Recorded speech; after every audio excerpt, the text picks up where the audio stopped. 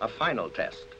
Each clock is set to read 1210, and each remains on this special conveyor for nearly 24 consecutive hours.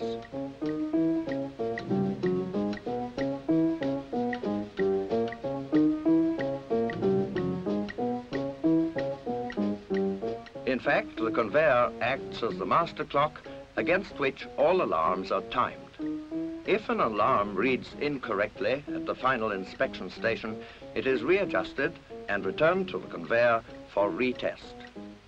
But right time it is. The vigil is over.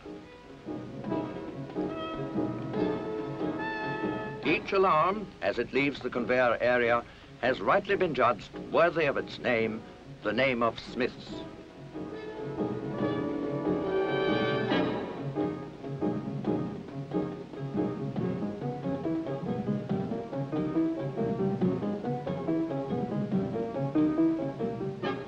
Every day, 10,000